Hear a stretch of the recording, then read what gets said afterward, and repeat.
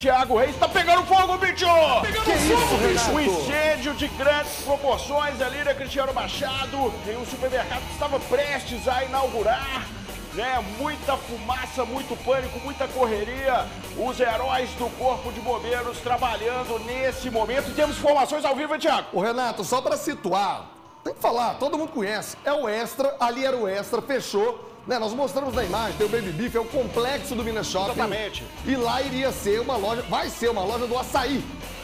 Da rede Açaí. Ia ser inaugurada semana que vem e pegou fogo. Vamos saber informações ao vivo com o Iago Rocha, Vamos saber Renato. que eu tô curioso, Tiago. Como é que tá a situação de momento? Meu Deus do céu, Tiago! E o que que aconteceu? Tinha muita gente lá dentro, não tinha gente lá dentro. O Iago Rocha conta pra gente situação de momento aí na Cristiano Machado, Iago. Boa tarde, Iago. Isso mesmo, Tiago. Boa tarde para você, boa tarde, Renato, e a todos que assistem o Alterosa Alerta. Eu falo ao vivo aqui do bairro União, região nordeste da capital, onde um incêndio de grandes proporções tomou conta de um supermercado que estava em obras. Nós viemos até um lote que fica ao lado e que dá visibilidade aos fundos. E daqui nós conseguimos ver bem onde o, o galpão que pegou fogo na manhã de hoje, por sorte, ele estava em obras, ou seja, não estava aberto ao público, com exclusividade. Nossa equipe conversou com um funcionário que estava no local quando a chama começou. Ele informou a gente que o local passa por obras e que o supermercado estaria operando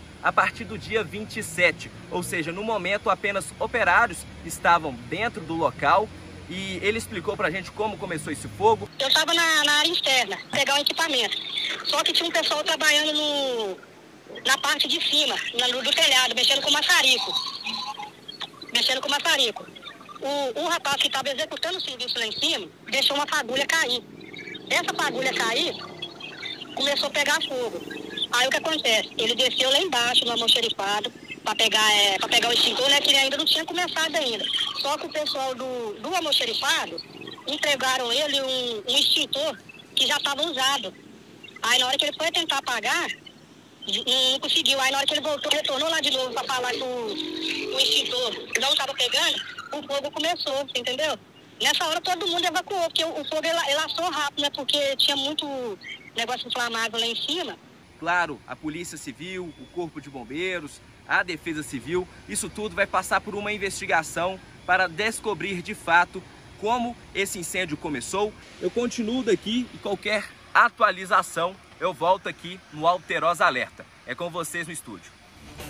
Valeu, tá falado, Iago. Daqui a pouquinho você volta. Você viu, né? Parece que tudo começou com maçarico ali. Uma fagulha, Thiago. É impressionante como né, o Renato, as coisas acontecem. Principalmente para quem conhece a região. Ali. ali ficou fechado há muito tempo, né? O Extra fechou já há algum tempo que ia ser uma loja do açaí para semana que vem, dia 30 seria a inauguração. Então tava aquele, aquela pressa para poder arrumar tudo. Né? Claro, para poder inaugurar os funcionários em treinamento, como explicou o Iago, e por conta de um maçarico, hein, Renato? É, rapaz. Agora essa informação do extintor, tudo isso vai ser apurado aí, né? Claro, a perícia da Polícia Civil, né? Mas o mais importante nesse momento é que não temos vítimas, né, Thiago? Exatamente. É o mais importante, porque o bem material, a turma corre atrás, tem certeza que, né? Pode ser que atrase um pouquinho, mas o supermercado vai sair, são empregos aí sendo criados, muito importante, né, Tiago? E para você evitar a região, hein? Vai passar pela Como Cristiano é que foi, Machado. Você pegou, pe pegou ah, sufoco aí no trânsito, Você vem pela Pedro I, Renato. Quem tá vindo do Vetor Norte, que já tá ruim, daqui a pouco nós vamos mostrar a obra na barragem da Pampulha. Ih, tá um caos também, Antônio Carlos e Pedro I, mas